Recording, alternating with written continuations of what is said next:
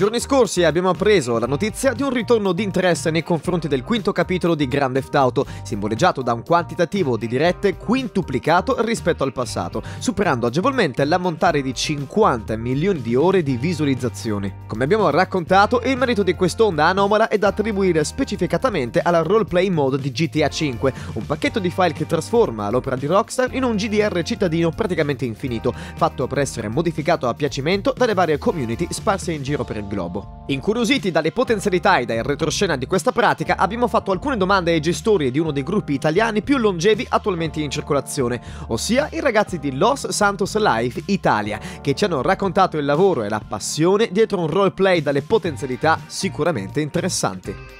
Tutto inizia nel 2017, quando le prime avvisaglie della nascita di server in America dedicata alla mod, la community italiana si organizza per creare un proprio gruppo di appassionati. In passato Rockstar ha fatto terra bruciata dei siti in cui trovato oggetti e opzioni aggiuntive per il suo titolo, ma stando alle spiegazioni dei fan, superato un periodo di controllo massiccio delle modifiche nella rete, le tensioni si sono allentate sempre di più. Se consideriamo che la versione PC ha visto la luce nel 2015, sono stati necessari due anni per lasciare campo libero ai giocatori e ai programmatori e lo stesso iter sarà ripetuto in precedenza con San Andreas.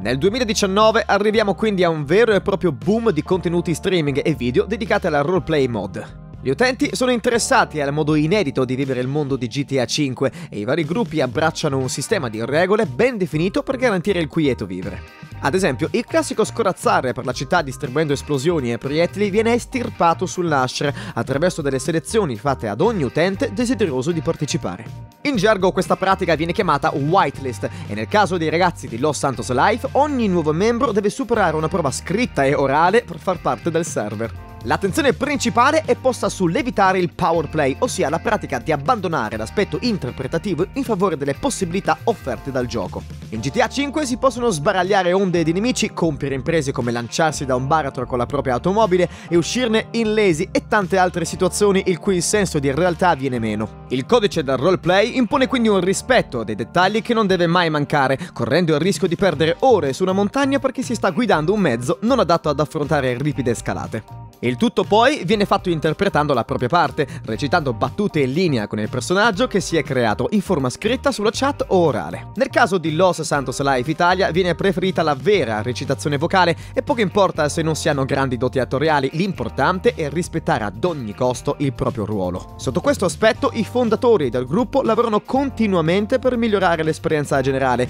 programmando nuove animazioni per offrire una rosa di azioni vicine alla quotidianità, dallo stringere una mano alla manetta aspettare un malcapitato. Non mancano casi in cui la produzione originale viene ampliata, per esempio introducendo un'azione come il portare la mano alla fondina per far capire agli altri interpreti che si sta per estrarre un'arma. Il tutto viene costruito con l'obiettivo di giocare ad un simulatore di vita vero e proprio, in cui ogni membro deve provvedere al proprio sostentamento. Non si tratta quindi di assecondare grandi narrazioni che sconvolgono l'equilibrio della città, quanto di racconti che emergono dalla combinazione di più eventi comuni che abbracciano un numero crescente di partecipanti. Nel chiedere degli aneddoti ai ragazzi di Los Santos Life ci è stato raccontato di alcune vittime decedute a seguito di un rapimento da parte della gang messicana. E più del fatto straordinario in sé, a colpire gli admin della community sono stati i successivi funerali a cui ha partecipato l'intero server, che tra l'altro è stato modificato per ospitare 64 giocatori, mentre la versione base della mod ne contempla la metà. Oppure si vivono momenti come le elezioni che permettono a tutte le vicende quotidiane di unirsi per dar vita a qualcosa di diverso. Per esempio, si è sfiorata la profondità del metagioco quando per screditare uno dei candidati al ruolo di presidente è stato realizzato un finto video inchiesta con informazioni fasulle pubblicate in seguito su YouTube. Il fascino della roleplay mode sembra nascondersi dietro tutte queste piccole narrazioni che si intrecciano,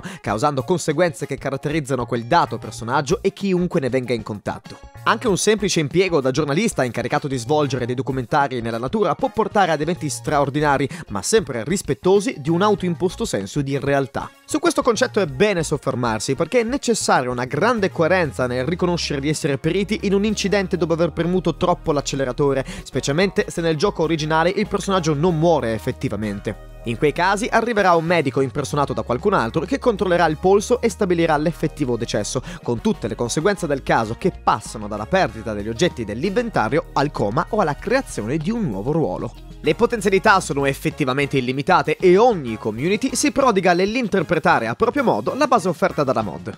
I ragazzi di Los Santos Alive ci hanno raccontato per esempio di aver sviluppato un proprio social network in roleplay utile ai personaggi fittizi all'interno del server per condividere le loro foto e le storie. Oppure di aver implementato un sistema di gestione dell'inventario sia personale che dei veicoli, che tiene in considerazione lo spazio disponibile e il peso trasportato. In tal senso, i giocatori affezionati al roleplay di GTA vivono un leggero scetticismo nell'avvicendarsi di influencer e streamer alla mod. Da un lato portano fama a questo mondo underground, dall'altro aprono alle masse poco educate un metodo di fruizione che trova il suo maggior punto di forza nei dettagli.